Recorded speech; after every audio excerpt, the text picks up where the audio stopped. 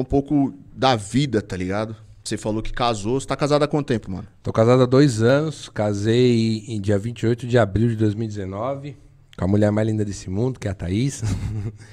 né? Manda um e, beijo pra ela. Aproveita um beijo, meu amor. jabá aí, ó. Amo você. e um, um ponto maior engraçado da minha história com a minha esposa foi o quê? A gente se conheceu através de uma foto que um amigo meu de infância postou dela. E foi mais engraçado. Postou uma foto dela numa bateria eletrônica, fingindo que ela tava sentando abordoada na bateria. Falei, nossa, que da hora, uma mina batera, né? Vou curtir a foto, vou começar a conversar. Mano, era tudo fingimento. Ela não tocava bateria, não só tava nada. ali. Tu não entende nada, entendeu? Gosta de música, mas não entende nada. Mas ela. Mas a gente começou a conversar, enfim. E acabou a gente conhecendo, namoramos, tudo, graças a Deus casamos. Faz dois anos que nós estamos casados, faz sete anos que nós estamos juntos. Né? Inclusive, ela, ela mandou um beijo para você ela também. mandou um beijo aí. Um beijo, Obrigado, mano. Thaís. Bom saber que você tá assistindo.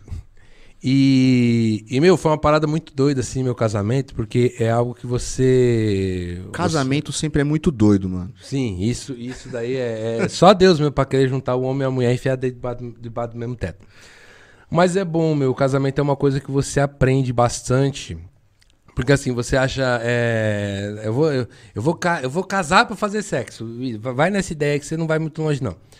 É, eu falo que assim, mano, você, você conhece uma pessoa no namoro, conhece outra no noivado, e quando você casa, você vê que não é nada aquilo que você viu. É. Entendeu? É uma parada muito louca. mas, mas o que, que é legal é, do casamento? É a experiência de viver algo novo todo dia. É a experiência de você ver assim que, tipo, é, você.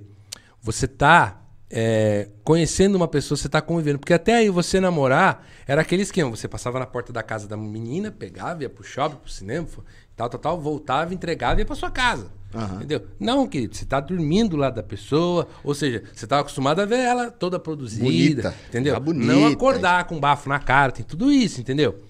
É, não, não tô falando que você tem bafo, tá? É, mas é assim, é uma, é uma ideia totalmente doida, entendeu? É, não, e outra, tipo assim, mano, quando você é namorado, quando você tá noivo, pô, você tem um desentendimento. E tem, velho. Não existe casamento perfeito. Se é solteiro, tá achando que vai casar e vai viver o conto de fadas, tira o cavalo da chuva, já, nego. Já dizia, não existe isso, tá? Já dizia Paulo, aos solteiros não case, aos casados não separa. É. Então, assim, quando você tá namorando, velho, você brigou, ela dorme na casa dela, você dorme na sua casa, no outro dia você acorda feliz. Ninguém olha o WhatsApp? Acabou, tá ligado? E quando você casa, velho? E quando você casa? É que, isso. tipo, o máximo que vai acontecer é um dormir no sofá. Não, é, é bem isso, velho. Eu falo que assim, graças a Deus. É, não vou dizer que meu casamento é perfeito, mas meu casamento é abençoado. Eu, eu tiro isso desde o dia que a gente é, teve o propósito de ter uma família. Porque na Bíblia você vê, é, Deus fala que o quê? O propósito. Ela escreveu alguma coisa aí, né? Não, o. De Buenas colocou aqui, o cheiro do peido também. Tem, tem, tem, tudo isso. Entendeu? Mas assim, o, o, o, que, o que você vê, a partir do momento que você decidiu criar uma família, é, você já vê Deus no, negócio. Por quê? Qual que é o primeiro é, fundamento, seu primeiro ministério como cristão, ou como. Você não precisa nem ser evangélico, mas o seu primeiro mandamento na terra, o que é? Família. Tanto que é, eu falo que a vida com Deus é dividida em quatro etapas: é Deus, família, trabalho e igreja. Então, trabalho e igreja nunca pode vir primeiro com a sua casa. Sim. Deus tem que ser o alicerce, mas depois a sua casa. É você, sua esposa, seus filhos, entendeu? Se você não é casado, seu pai, sua mãe. Então sempre tem aquela pegada de: ah, eu vou conversar com um amigo. Você quer saber quem é seu melhor amigo, mano? Seu pai e sua mãe. Porque independente da burrada que você for fazer, ele vai ele te dar um puxão de orelha, mas ele vai continuar te amando. Seu amigo não. Você fez cagada com ele, ele vai virar as torto pra você. Ele pode até mais pra frente voltar a falar com você. Mas ele nunca vai ser a mesma coisa. Pai e mãe é diferente, entendeu? Sim. Tem sempre essa parada. E eu falo que assim, quando é, nós tomamos o posicionamento de noivar e casar, foi uma parada muito louca. Porque a gente noivou sem ter data. Aí, beleza, passou uma semana, mano. Eu fechei o buffet. Quando eu fui ver o buffet, a mulher virou e falou: pô, aí tipo, eu sou um cara que trabalho com venda, então sou muito conta de cabeça. A mulher foi falando, eu fui anotando tudo num papel. Aí ela acabou de explicar tudo. Eu falei: não dá para mim fechar. Ela, como assim? Mas eu nem falei o valor. Eu falei: mas tá, deu tanto. Ela é esse valor, meu? Eu falei, então, eu falei, eu já fiz todas as contas aqui, dá pra gente fechar tudo direitinho. Aí ela falou, beleza. Ela chegou com aquela falou, tá, vamos fechar tal evento, desse jeito, ela tá. Qual é a data? Porque já que você vai marcar um evento, você tem que ter a data. Aí eu botei a data, 24 de abril de 2019. Beleza. Aí, meu, é incrível. Parece que, tipo assim, quando você fala, eu vou noivar. Tá, mas você vai casar quando? Ah, não sei, mas eu vou noivar. Não faça isso, velho. Por quê? Fica uma coisa muito vaga. A única coisa que você tá mudando, sabe o que, que é? Você tá tirando uma aliança, se você usa, de prata do dedo e colocando uma de ouro. O título, só muda o Você título. só muda o título, entendeu? Só muda o título, a aliança do dedo e o relacionamento do Facebook. Só vai mudar isso. entendeu? Agora, quando você quer fazer algo e você põe, um, como a gente falou, um objetivo, você põe data e vai pra cima, parece que Deus vira uma chavinha lá em cima que fala assim: agora as coisas vão funcionar. Sim. Porque aí você começa a ver que você tem tempo pra correr atrás de casa, pra correr atrás das coisas que faltam pro casamento, roupa e tudo mais, e por aí vai. É. E, meu, eu falo que é, um ano pro meu casamento, já tinha o buffet fechado, a gente foi ver roupa, foi ver o carro que ela ia chegar, foi ver os fotógrafos e tudo mais e tal. Mas é, eu fui ver a casa e foi muito engraçado que assim, eu fechei, meu, eu fechei um apartamento na planta. E, meu, é mó barato, vendedor de apartamento na planta, velho. O cara promete pra você que o apartamento vai sair. Vai morar no Éden, né? Vai, Vai é morar mais no ou menos Éden. isso, entendeu? Você vai chegar, sua vaga vai ter marcação de ouro e por aí vai. e, meu, e o cara, não, beleza, pelo cara falou, só que assim, aquilo que eu falei, ouço os seus pais. Meu pai olhou e falou, não, beleza.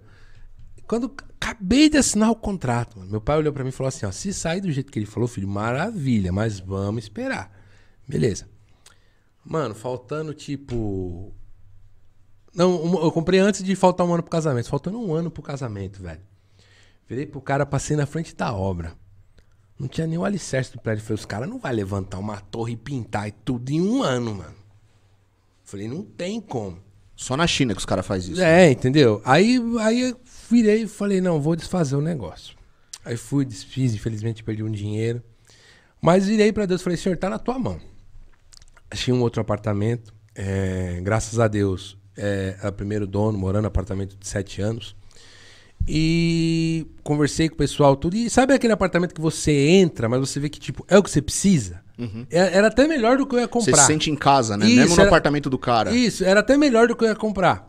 E eu falei, não, beleza, vamos lá. Fiz uma oferta, a menina aceitou, fiz um jeito de pagar legal, assim, porque, tipo, quando eu falei pra ela que eu ia comprar o apartamento dela, ela não tinha visto o AP dela ainda.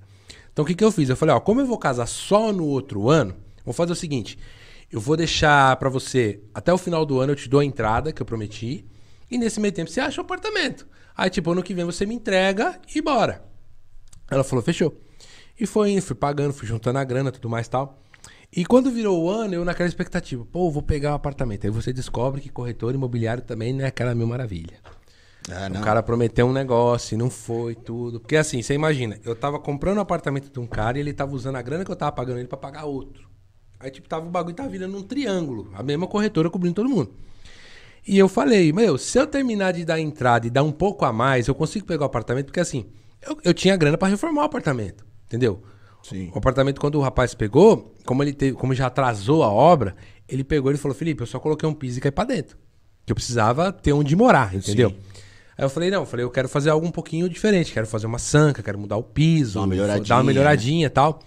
Ele falou, não, beleza, você me entrega um pouco antes, que eu quero entrar já, que eu quero casar já com o apartamento, não quero dizer totalmente pronto pra morar, mas já podendo entrar e morar pra dentro. Ele falou, não, beleza.